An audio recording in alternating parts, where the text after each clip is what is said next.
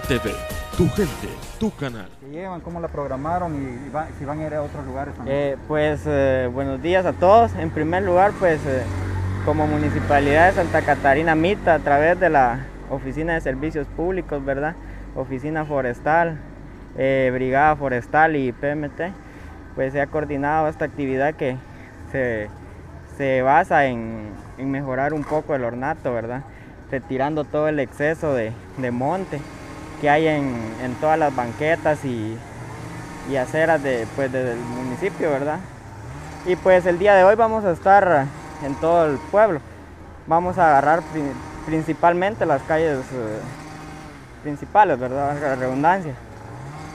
Importante, Alexis, también que la, el- la población pueda ayudar también a mejorar y a mantener la limpieza, no tirando basura en las calles.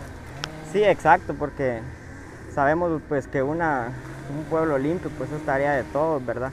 Todos podemos poner de nuestra parte, no depositando la basura en la calle, siempre guardarla y pues mantenerla en un bote de basura, pues el tren de aseo pasa casi todos los días, Esto va a ¿verdad? ser en todo el casco urbano Sí, hoy. esto se va a realizar en todo el casco urbano. ¿Solo hoy o va a haber otro Eh, dependiendo cómo, cómo vayamos el día de hoy, pero sí tenemos programado hacerlo en todo el casco urbano. ¿verdad? ¿Cuentan con un buen número de, de personas voluntariados que están trabajando acá?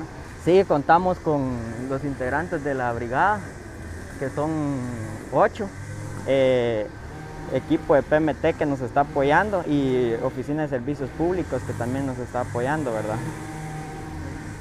Gracias, Alexis. TV, tu gente, tu canal.